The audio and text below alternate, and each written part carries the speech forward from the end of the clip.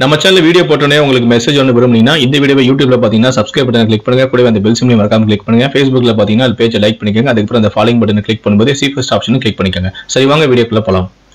மதுரை மாவட்டம் திருப்பரங்குன்றம் அமைதி சோலை ஐந்தாவது கிழக்கு தெருவை சேர்ந்தவர் தான் கார்த்திக். வயது இருபத்தைந்து. மருந்து பொருட்கள் விற்பனை பிரதிநிதியாக வேலை செய்து வருகிறார். இவருக்கும் ஹர்விப்பட்டியை சேர்ந்த நாராயணின் மகளான ரேவதி வயது இருபது என்பவருக்கும் ஓராண்டுக்கு முன்புதான் திருமணம் நடைபெற்றது. திருமணத்துக்கு பிறகும் ரேவதி கல்லூரியில் படித்து வந்துள்ளார். இந்நிலையில்தான் ஐந்து மாத கர்ப்பிணியாக இருந்த ரேவதி மருத்துவ பரிசோதனைக்காக பெற்றோர் வீட்டிற்கு சென்றுள்ளார். அங்கு தனக்கு அடிக்கடி வயிறு வலிப்பதாக பெற்றோரிடம் கூறியதாக தெரிகிறது. இதை அடுத்து பெற்றோர்கள் தனது மகளை அஹ், மதுரை பெரியார் ஆஸ்பத்திரிக்கு அழைத்து சென்று பரிசோதனை செய்தனர். அப்போது ரேவதிக்கு கரு கலைந்து விட்டது என்று டாக்டர்கள் தெரிவித்துள்ளனர்.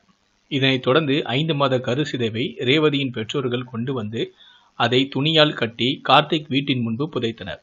இதற்கிடையே பெற்றோர் வீட்டில் இருந்த ரேவதி கடந்த சில மாதங்களுக்கு முன்பு தூக்கு போட்டு தற்கொலையும் செய்து கொண்டார். இது தொடர்பாக திருநகர் போலீசார் வழக்கு பதிவு செய்து விசாரணை நடத்தினார்கள். இந்நிலையில்தான் மதுரை மாவட்ட கலெக்டரிடம் ரேவதியின் தந்தையான நாராயணன் ஒரு மனு அளித்தார். அதில் தனது மகளின் வயிற்றில் வளர்ந்த கருவின் சிதைவிற்கும் மகள் தற்கொலைக்கும் ஹர்விப்பட்டியை சேர்ந்த அருண் வயது இருபத்தாறு என்பவர்தான் காரணம் என்றும் அவர் மீது நடவடிக்கை எடுக்க வேண்டும் என்றும் கூறியிருந்தார். இது தொடர்பாக திருநகர் போலீசார் வழக்கு பதிவு செய்து விசாரணை நடத்தினார்கள். விசாரணையில்தான் ரேவதியும் அருணும் திருமணத்துக்கு முன்பு காதலித்து வந்தார்களாம். திருமணத்துக்கு பிறகும் அவரது காதல் தொடர்ந்ததாக கூறப்படுகிறது. அருண் ரேவதியிடம் அடிக்கடி செல்போனில் பேசி வந்துள்ளார். மேலும் அவர் ரேவதிக்கு வாட்ஸ்அப்பில் நான் உனக்கு வாழ்வு தருகிறேன். நீ உன் கணவனை விட்டுவிட்டு வந்துவிடு.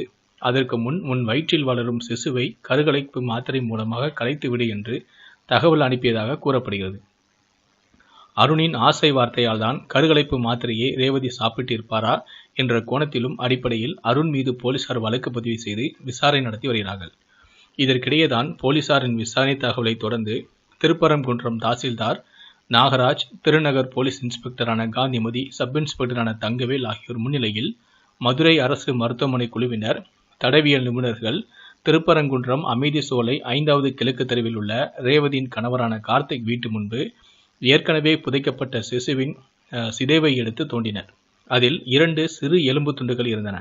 அதை டாக்டரான ராமா தடவியல் அலுவலரான ரமேஷ் ஆகியோர் மருத்துவ பரிசோதனைக்காக கொண்டு சென்றனர். இந்த சம்பவம் திருப்பரங்குன்றம் பகுதியில் பெரும் பரபரப்பை ஏற்படுத்தி இருக்கிறது. காதலுடைய ஆசை வார்த்தையால் தன்னுடைய கருவை கலைத்த இந்த பெண்ணை பற்றி உங்களுடைய கருத்துக்கள் என்ன அப்படிங்கிறத நீங்கள் பார்த்துட்டு இருக்க வீடியோ கூட கமெண்ட் செக்ஷனில் மறக்காமல் பதிவு பண்ணுங்கள் மேலும் இது போன்ற பல செய்திகளை அப்டேட்டாக உடனுக்குடனே தெரிஞ்சுக்கணும் விரும்புனீங்கன்னா மறக்காம நீங்கள் சப்ஸ்கிரைப் பண்ணுங்கள் கூடவே அந்த பெல் சிம்லி மறக்காமல் கிளிக் பண்ணுங்கள் நன்றி.